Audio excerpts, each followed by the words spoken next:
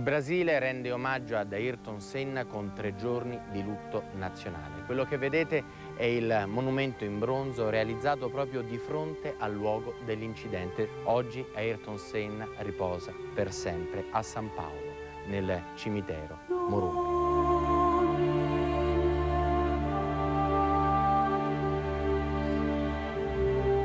Sulla lapide si legge Niente può allontanarmi dall'amore di Dio.